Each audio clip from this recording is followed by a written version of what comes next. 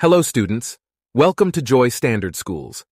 Today, we're going to learn about two important components of a computer, RAM and ROM.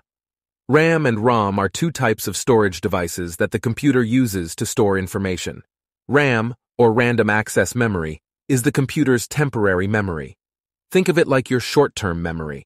RAM stores the information that the computer is currently using so that it can be accessed quickly. ROM, on the other hand, stands for read-only memory. It is a type of permanent memory. ROM is like your long-term memory. The information stored in ROM cannot be easily changed or lost. There are different types of RAM and ROM, each with its own benefits and disadvantages. For example, static RAM, or SRAM, is faster but more expensive than dynamic RAM, or DRAM. ROM also comes in different forms, such as PROM, EEPROM, and EPROM.